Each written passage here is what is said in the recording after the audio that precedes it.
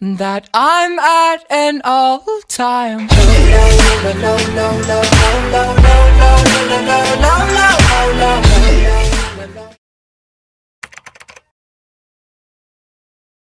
What's up you guys? Welcome to the very first vlog. For those of you who don't know me, my name is Ryan Noel. If this is your first time tuning in, please make sure to hit that subscribe button, hit that like button, and make sure you're following for a bunch of new videos that I'm going to be dropping every single week. For those of you who don't know me, I'm a top producing realtor at Remax Community, full-time real estate agent out in the Greater Toronto region, and I'm going to be making this vlog series to kind of showcase what the day in the life of Realtor Ryan Noel is like there's a lot of stuff that happens behind the scenes. Just going through my IG page and looking at the deals that I've done, to kind of do with this platform and with these video series actually is to kind of showcase what I really do behind the scenes that gets me going and gets all my deals going out left, right, and center.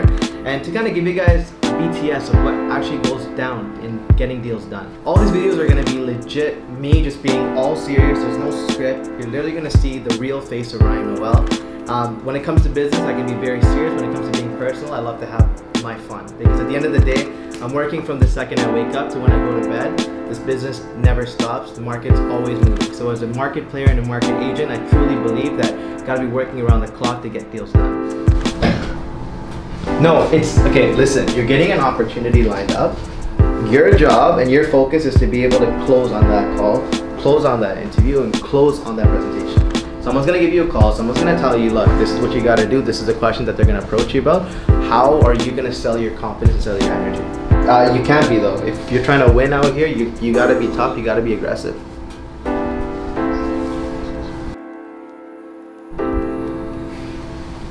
Part of my day requires me to be confined in this office to get through my emails, get through my calls, get bookings booked in. But this is such a small fraction of what really goes down. A lot of my life within this business requires me being on the road, meeting clients, doing showings. Right now what I'm trying to do is um, got a couple bookings to book, actually a couple of showings to go book for my clients and just trying to obviously fit it within the right time schedule, make sure that it aligns with my timing and their timing. All right, so this is literally where half my day is spent, just on the road. Um, it could be driving from different meetings to showings. and I literally spend all of my time and actually a lot of my money on just gas.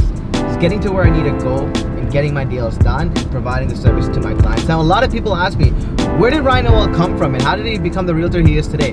Well, let me tell you. My first ever professional corporation job that I had was at the bank. I worked at Bank of Montreal for three plus years. Started off as a teller, worked my way up to being a financial advisor, only to realize the amount of love and the amount of passion I had transacting my clients' financial transactions. Whether it was valuing someone's account that just had a bunch of Tim Hortons coffee purchases or whatever it was, or being able to take a $2 million uh, retirement fund. Every little bit of money management I did within the bank was just that driving factor towards providing me with that happiness. So while I was at the bank, I thought, I was like, okay, I'm, I'm in love with financial transactions, right? So I was like, what's one of the biggest financial transactions someone ever goes through or like faces in life? And that's when I thought it's real estate. And I was like, holy shit, I should get into real estate. Like I'd be a sick realtor and all. And then while I was working at the bank full time, somehow managed to get my license within about it's a 12 month time period with OREA. Got my license, got registered with Ashley Century 21, then transferred over to Remax Community, and now I'm just over a year in the business and already achieved a top producer award. Did over 20, what is it, 22, 23 deals in my first year. And I love what I do. I can't do this part time because I don't think someone's home purchase or sale is my part time commitment. And I couldn't be happier just getting up and doing what I do in this business every single day. Actually, right now, we're actually on our way to doing a showing in Pickering for a $2 million property. It's actually for one of my buyer clients. He's looking for something that's very, very unique and can be a country type of style of state or it can just be a really nicely done up luxury home. Buying power of that amount and again, there's a lot of time put towards every single one of my clients' needs and for me, it's all about providing and working for their best interest and doing the right thing. Yeah, that's basically like how like who I am, just on and off the record, you know? Now, if you made it this long in the vlog, and like I said, this is one, gonna be one of the first many, many, many vlogs I make.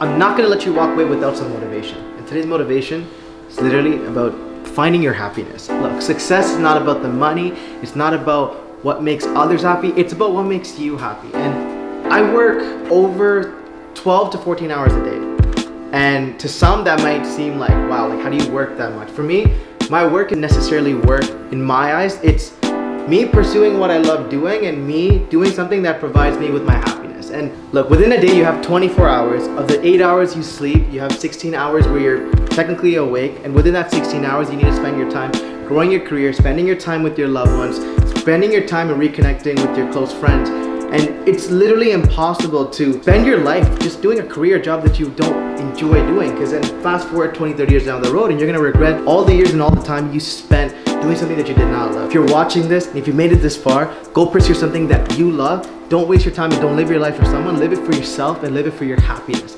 That's the end of the vlog. Make sure you like and subscribe, and I better see you for all my other videos and follow my page for more real estate and finance tips. We'll talk soon.